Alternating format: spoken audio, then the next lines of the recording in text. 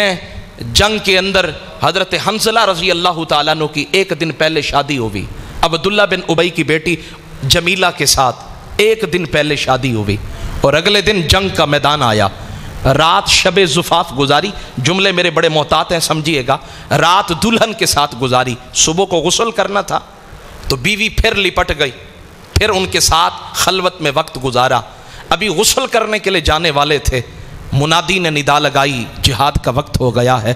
لشکر تیار ہے روانہ ہونے کو، جس جس نے جہاد میں شریک ہونا ہے وہ آ جائے۔ حضرت حمزلہ کے جو قدم غسل کرنے کے لیے اٹھ رہے تھے، کہنے لگے، جمیلہ، مجھے رخصت کرنے کے لیے تیار ہو جاؤ۔ غسل نہیں کروں گا، اگر کروں گا تو پھر لیٹ ہو جاؤں گا۔ لشکر مصطفیٰ میں شریک نہ ہوا تو پھر پیچھے رہ جاؤں گا۔ مزہ نہیں آئے گا۔ حضرت ام جمیلہ نے کہا، حضور غسل تو فرما لے. فرما، نہیں، پیچھے رہ جاؤں گا. فرماتے، کان حنزلہ تبن عامر سقفی فرماتے، اب میدان کے اندر پہنچے اور ایک طرف ابو سفیان ہے اور ایک طرف حضرت حنزلہ ہے۔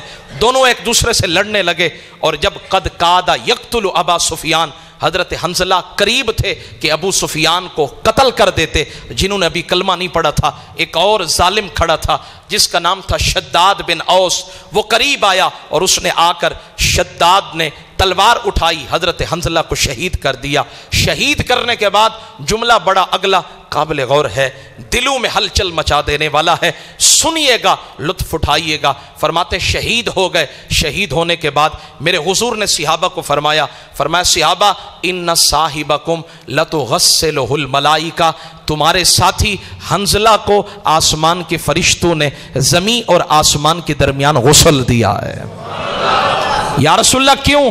فرمایا، اس کی بیوی سے جا کے پوچھو، یہ آیا کیسے تھا؟ اور جب پوچھا گیا تو انہوں نے کہا، وہ جنبی تھے، حالت جنابت میں تھے، غسل نہیں کیا تھا، جہاد کا وقت آ گیا، انہوں نے غسل نہیں کیا، میدان جنگ کی طرف چل پڑے۔ اور جب اللہ نے یہ منظر دیکھا کہ میرے نبی کا صحابی ایک دن پہلے شادی ہو رہی ہے دولن سے پیار بھی ہے دولن سے محبت بھی ہے، جذبات بھی ہیں، لیکن پھر بھی سب کچھ چھوڑ کے میدان جنگ کی طرف جا رہا ہے۔ کیوں؟ تاکہ مٹھڑے نبی کی عزت، محبوب کی شریعت کا پاس رکھا جائے۔ تو پھر ہم بھی یوں عزت عطا کریں گے۔ فرمایا، اس کو غسل شہید ہے، غسل نہیں دیا جائے گا۔ لیکن ہے حالت جنابت کے اندر فرشتوں ایسے کرو، تم نے غسل دینا ہے۔ سیابا کہتے ہیں، غسل دیا گیا۔ اور جب ہم نے ان کے جنازے کے قریب جا کر دیکھا، تو ان کے بالوں سے پانی کے قطرے ٹپک رہے تھے۔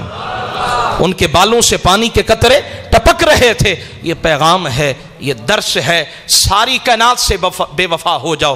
ہو جاؤ، شاید کہ فرق نہ پڑے۔ مصطفیٰ جان رحمت سے بے وفا نہ ہونا۔ اعلیٰ حضرت کہتے ہیں، سب سے اولا و اعلیٰ۔